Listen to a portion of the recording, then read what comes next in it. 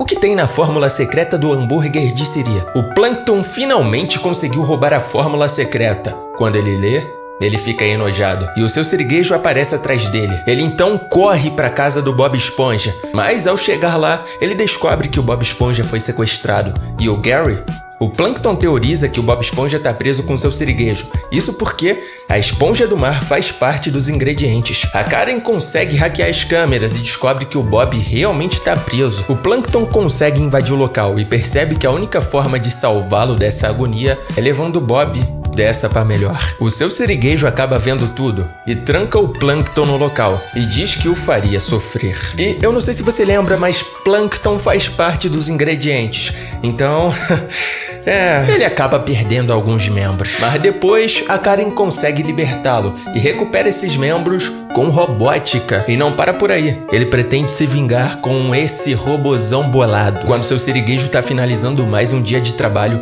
o Plankton com seu robô boladão aproveita que o mané tá distraído e o agarra pelo pescocinho. E depois o joga no chão. Eles batem um papo antes da porradaria final, com Plankton jogando na cara do seu siriguejo que ele fez com Bob Esponja, e o seu siriguejo basicamente rebate com fracassado. Ué, tá foda ficar fazendo essa porra. E então, na porradaria final, o Plankton vence com uma fatiada de jogador caro e no outro dia só se falava em outra coisa. O Plankton obviamente seria procurado até que a Karen conseguisse provar sua inocência, vazando lá as imagens. Mas no fim o Bob Esponja tá em paz e o vilão virou herói. Beijo.